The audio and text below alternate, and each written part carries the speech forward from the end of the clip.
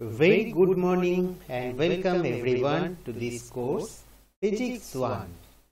This course is generally made for undergraduate level BTech students. Myself Gopal Chakraborty, Assistant Professor, Department of Physics, Greater Kolkata College of Engineering and Management, Baruipur. You can meet me personally at college premises, ground floor physics lab.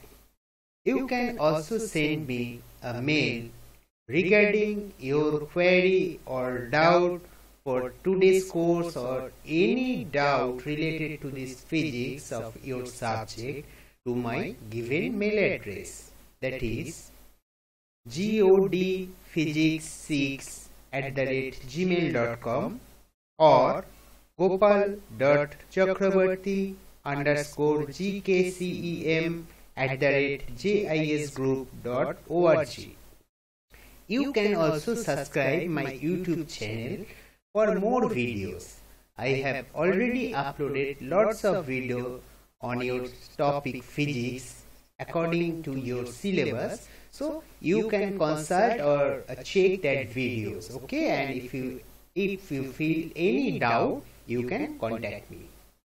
so for the today's class or this course i am your subject teacher.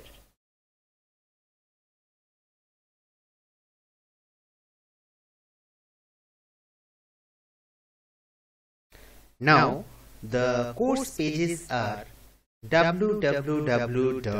www.makautexam.net and www.makautwb.ac.in. The corresponding syllabus for the subject physics is already uploaded there in the university website. So you can download or check the syllabus from there. The course title is Physics 1. It has a subject code BSPH 101 it is under the category of Basic Science course. This course has a credit for 3 lecture per week and 1 tutorial per week. So this course is generally made for BTech students of first year only. So computer science, civil, mechanical, these departmental students will going to study this topic and this course for their odd semester.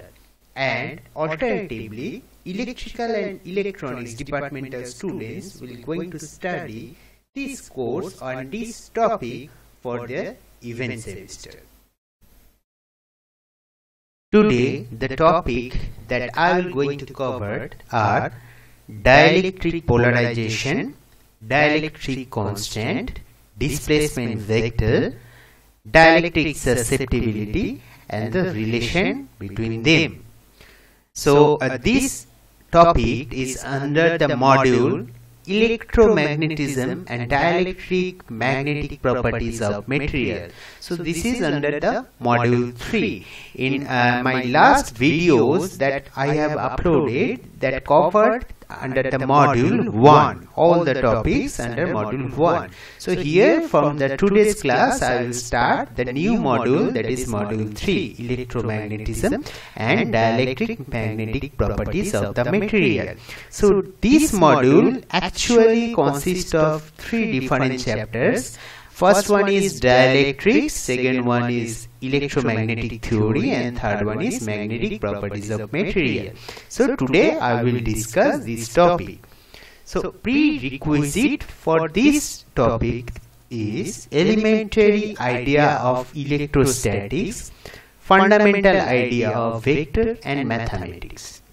The course objective is learn about dielectric materials and their properties and relation between them.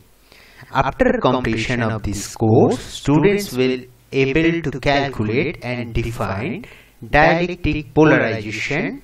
They will also able to calculate dielectric constant and other properties of the given material. So these are actually the course outcome.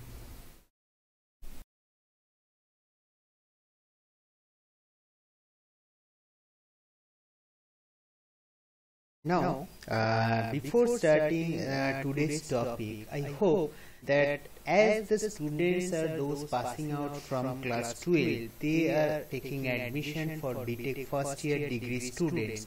So they already have a little bit knowledge of this chapter in your class 12 physics because they have an idea of electrostatics where they have read that Coulomb's law of force, electrostatic fields, and Gauss's law, etc. They also have a idea of conductor and insulator. Uh, I want to uh, I want to remind you that uh, that what is Coulomb's law of force that you have studied uh, in your class 12 that is it's a its law states the laws of attraction. It's a force of attraction or repulsion between two point charges is is directly proportional to the product of magnitude of two charges and inversely proportional to the square of the distance between them. You have also know what is your uh, electric field. So electric field or electrostatic fields is defined as force electrostatic force per unit charge and you have also studied about Gauss's law for electrostatics that is that says the total normal electric flux through a closed surface is equals to 1 by epsilon times total charge enclosed by the surface. that things you know. and you also know the what is conductor and what is insulator uh, because this idea is necessary to understand the chapter dielectrics okay? so what is conductor conductor means uh, where the free charges are there lots of uh, examples are there. all metals are example of a conductor. so, so as free charges are there, they can carry the electricity current from one place to another.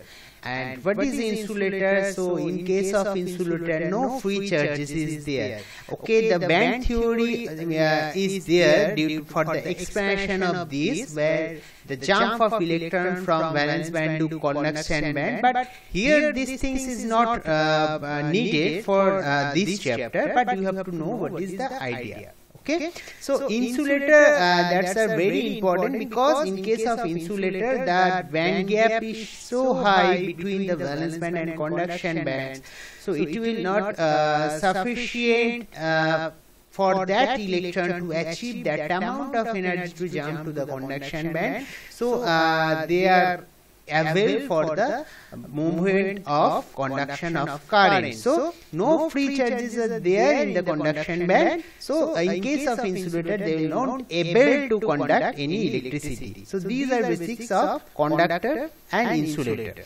Now, uh, when I am going to tell you about the dielectric chapter. So, dielectrics are basically an insulator. Okay, uh, the examples are say uh, any kind of oil, plastic, Teflon, uh, glass. These also are example of dielectric. So you may think about that. These are also an example of insulator.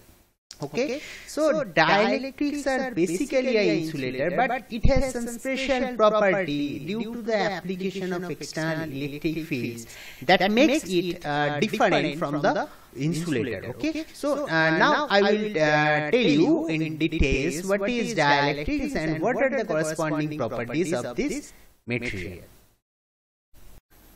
Okay, so uh, dielectric polarization. So dielectric, before uh, to know the dielectric material. So dielectric material is an electrical insulator that can be polarized by an applied electric field.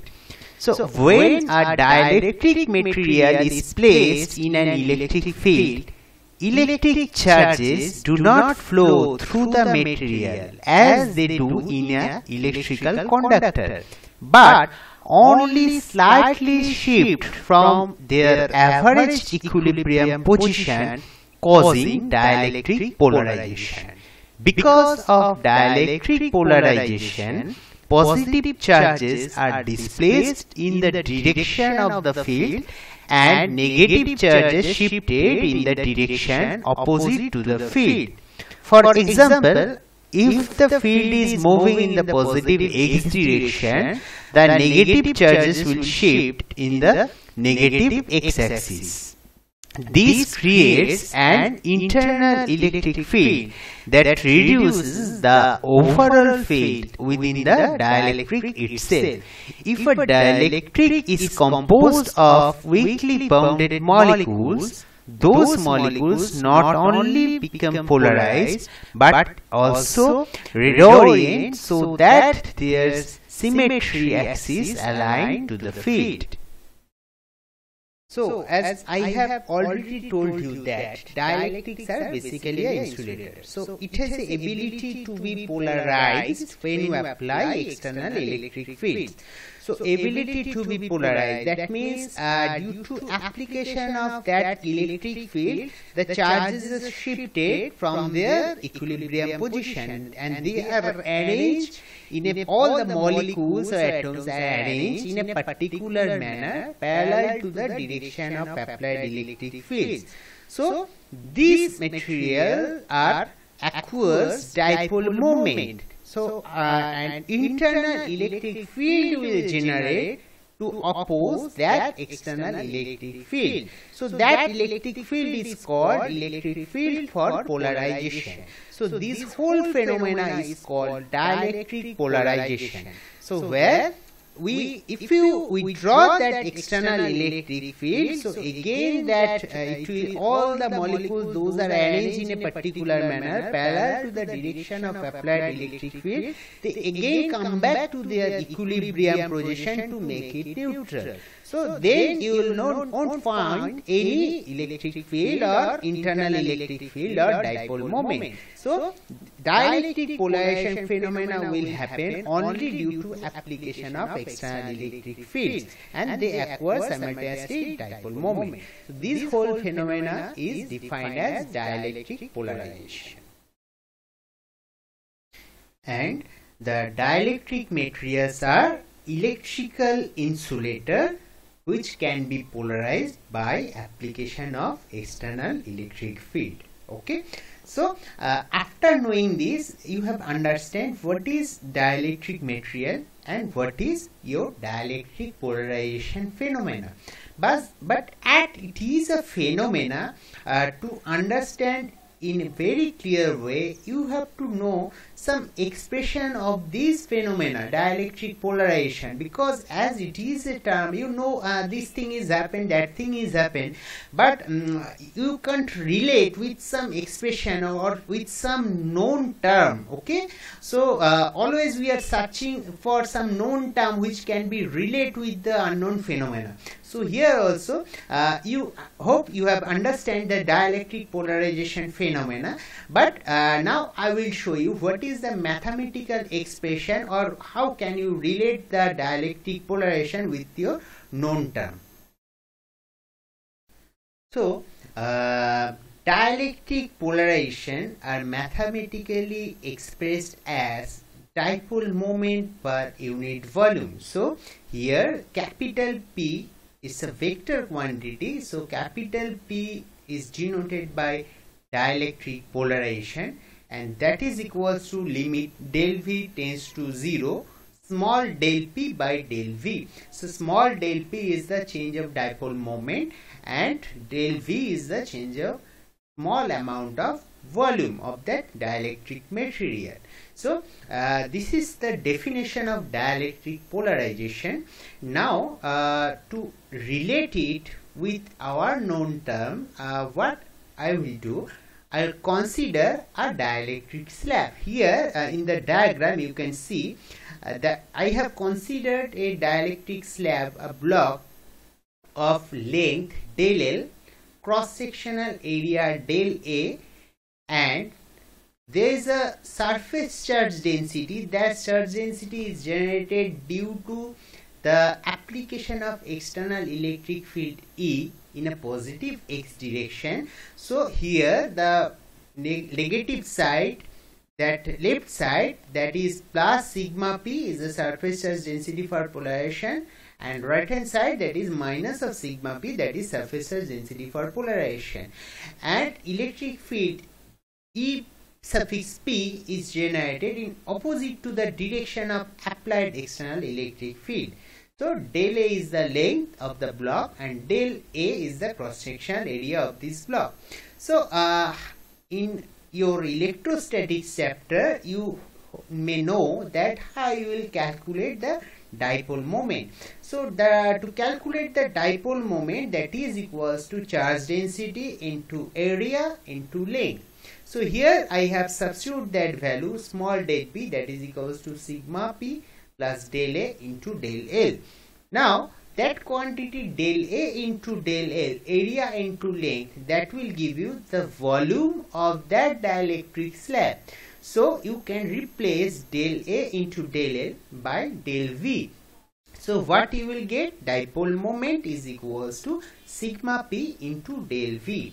Now if you substitute the value of dipole moment in the expression of dielectric polarization so what you will get your del phi del phi that volume will cancel out and ultimately you will get that dielectric polarization is nothing but surface charge density for polarization that is generated due to the application of external electric field. Hope that now you understand it is very clear to you what is the dielectric phenomena and how the it mathematically can be expressed the volume density of polarization of charge that can be represented by rho suffix p that is equals to minus of del dot p where del is the vector differential operator and capital P is the dielectric polarization. I will show in the next slide uh, how you will derive this expression. Okay, so uh, now this is the expression of dielectric polarization. It is nothing but surface charge density for polarization. Now, uh, the next point that is dielectric constant. So, what is dielectric constant? Dielectric constant is nothing but the ratio of electrostatic fields in medi in free space to that in medium. So, E naught by E that will give you the dielectric constant.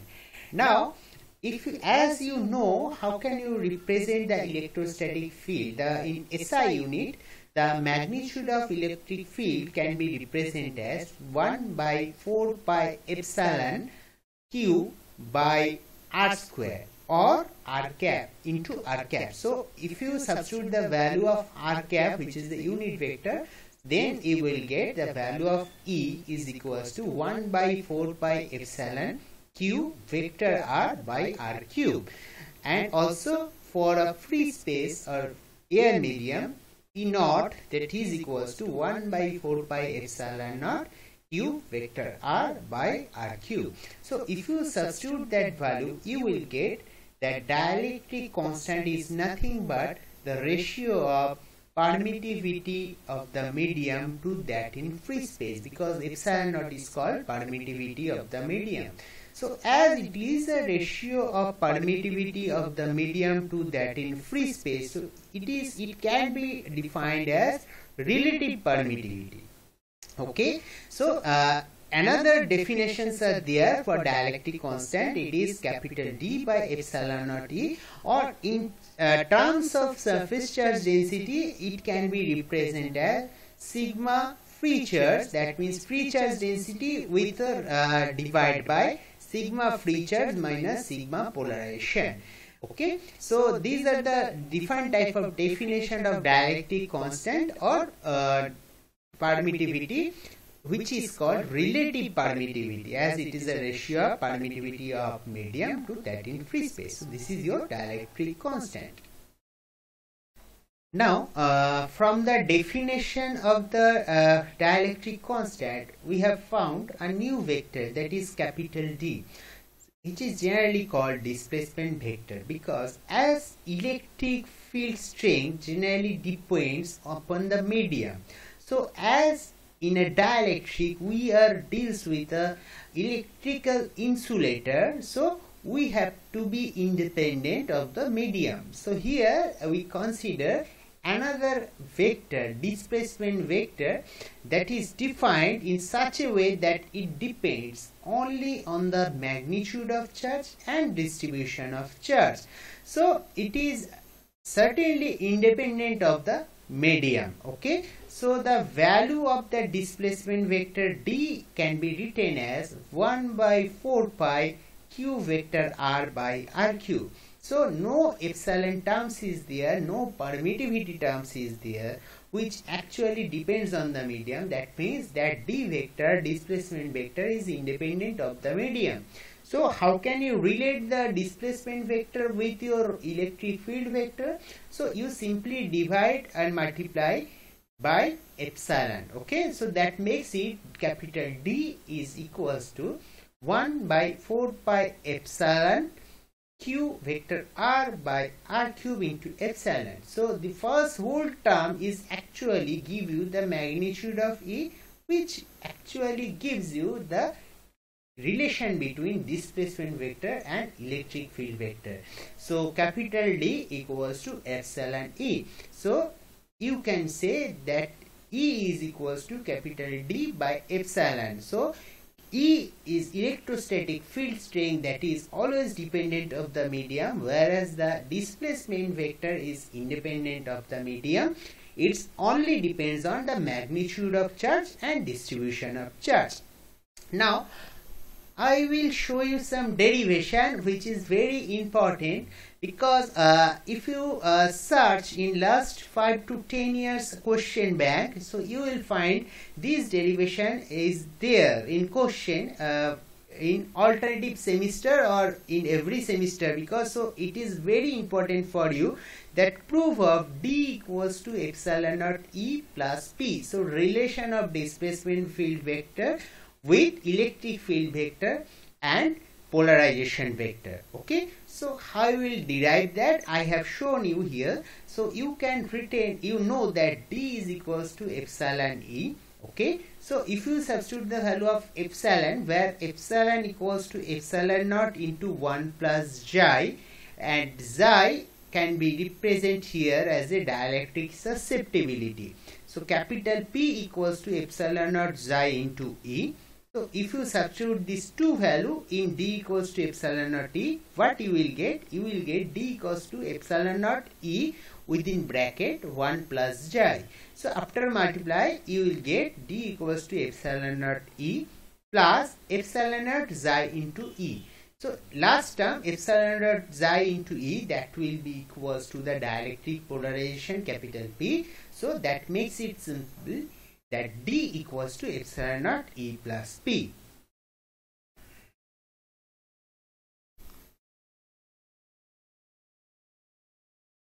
So uh, Xi that is actually defined as a dielectric susceptibility. So definition how can you define that? It is a ratio of polarization per unit volume to the net electric field as modified by the induced charge on the surface of the dielectric. So this is called dielectric susceptibility. So xi is equals to capital P by epsilon naught E. Now uh, another important derivation uh, that is relation between dielectric constant and susceptibility. So how you will derive this you uh, may start that uh, from that expression d equals to epsilon naught plus e plus p. So uh, you substitute the value of d d equals to epsilon e plus epsilon naught e plus epsilon naught xi into e. So after substituting all these value what you will get? Epsilon naught E into epsilon E taking common within bracket 1 plus J. So uh, E, e will be cancelled out from the both side and you will find epsilon by epsilon naught that is equals to 1 plus J. So epsilon by epsilon naught is nothing but the relative permittivity or your dielectric constant. So what you will find dielectric constant is equals to 1 plus J. So this is the relation between dielectric constant and dielectric susceptibility. Now uh, another derivation that is relation between induced and free charge okay? So from the definition of dielectric constant uh, it is a ratio of free charge density with a difference between free charge density and charge density for polarization. So we can simply write k equals to sigma free by sigma free minus sigma p so uh, multiply uh, cross multiplication uh, and rearranging you will find sigma p that is equals to sigma free into 1 minus 1 by k. Now uh, in both sides you just multiply with the surface area A that will give give you A into sigma P equals to A into sigma free into 1 minus 1 by K where K is the dielectric constant. So uh, surface charge density into area that will give you a charge density for polarization that is equals to uh, uh, charge density for polarization into area that is equal to charge density for free space into area into 1 minus 1 by k ultimately give you charge for polarization equals to charge for free space into 1 minus 1 by k. Okay? Uh, another proof uh, this p capital p equals to epsilon e into k minus 1 so as we know the susceptibility equals to capital p by epsilon naught e so cross multiplication will give you capital P equals to epsilon naught E into xi. So as we know the relation between dielectric constant and susceptibility is K equals to 1 plus xi. So if you substitute the value of xi you will get capital P equals to epsilon naught E into K minus 1.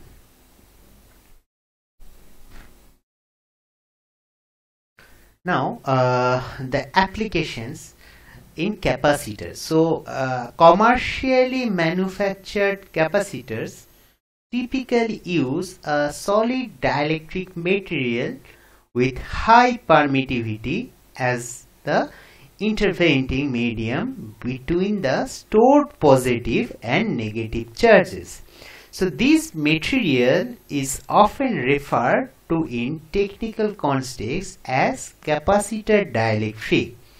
The most obvious advantage to using such a dielectric material is that it prevents the conducting plates on which the charges are stored from coming into direct electrical contact. More significantly, However, a high permittivity allows a greater stored charge at a given voltage. This can be seen by treating the case of a linear dielectric with permittivity epsilon and thickness d between the two conducting plates with uniform charge density sigma e. So in this case, uh, I will show you how you can derive the expression of capacitance. Uh, so I have considered here a parallel plate capacitor uh, having the separation small d within that dielectric have placed having permittivity epsilon naught and the charges on the plates are plus q and minus q. Electric field capital E is applied. And the surface area of these plates is capital A. Okay? So the surface charge density can be represented as epsilon naught sigma equals to epsilon naught V by D. So rearranging where V is the potential difference that create between these two plates. Or that show potential difference V that can be represented as V equals to sigma by epsilon naught into D. So uh, you can represent the potential also like that Q by epsilon naught A into D by substituting the value of surface charge density sigma. That is value is q by a. So if you substitute that value what you will get? You will get v equals to q by epsilon a into d. So the capacitance per unit area that can be represented as C equals to Q by V. So uh, if you substitute this value of V here, so Q Q will be cancelled out and ultimately you will get the capacitance of a parallel plate capacitor that is equals to epsilon naught A by D where epsilon naught is the permittivity of a free space as here I am considered free space as a uh, dielectric constant. So uh, if you replace that space with some uh, other dielectric material having dielectric constant epsilon naught c so this will be replaced by epsilon naught. So uh, you will get here epsilon naught c equals to epsilon naught a by d. Now uh, using this formula uh, some numericals is there for your practice first one a parallel plate capacitor is filled with an insulating material with a dielectric constant of 2.6 so k value is 2.6 the distance between the plates of the capacitor is given that is 0.002 meter find the plate area if the new capacitance is 3.4 microfarad. So uh, for this kind of a problem first uh, the pro procedure is you just convert all the units in the same SI or CGS unit. Better here to convert on all the value in a SI unit. So mm, microfarad uh, that will be equals to 3.4 into 10 to the power minus 6 farad. Okay and other value that is given uh, in the terms of SI unit. So as the formula C equals to K into epsilon naught A by D. So you substitute all these value and you will get from here the value of A the area that is equals to 29.6 meters square so epsilon naught that value uh, is uh, the relative uh, the permittivity for free space that is 8.854 into 10 to the power minus 12 so i have substituted here and get the value so the second question is if a parallel plate capacitor uh, went through the following changes simultaneously, how would the capacitance be affected? If K doubles, that means if dielectric constant doubles, uh, if the plate separation halves, if the plate area is quadruples. So uh, the formula is same, the basic formula you have to use that C equals to K into epsilon naught A by D. So first uh, if you put K doubles, so if for first case C1 is uh, K, in second C1 is 2K. So uh, by this process you can easily find out what is the relation between this initial capacitance with the final capacitance because dielectric constants will be double.